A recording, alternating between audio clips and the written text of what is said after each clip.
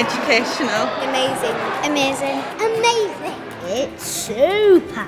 It's not like your typical kind of museum. Straight away, you see their eyes sort of light up a little bit because normally when they go to a museum, they don't get to touch anything.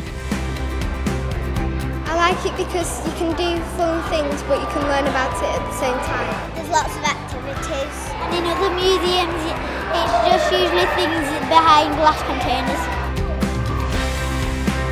I think it's an educational museum. It's colourful, it's bright. It's so interactive. I think that's what I love most about it. I like the fact that it's a safe environment for Oscar to play. It's got everything that you need for your full day out for every age range.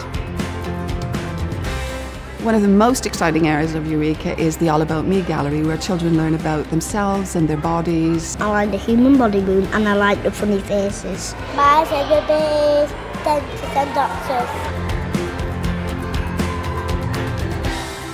Going shopping in Marks and Spencer's and I like that's my best bit. You're free to be able to do things like pretend that you work in a bank. So from a life skills perspective, it's great for the kids because they can learn loads. Another area of Eureka that's absolutely fantastic is our sound garden.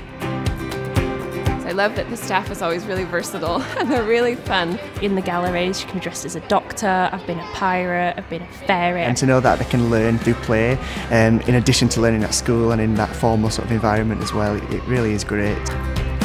They come for fun. I like bodies. I like the gift shop. They're learning about the body themselves, science, and it will just keep the children entertained for hours. Bye. Thank you.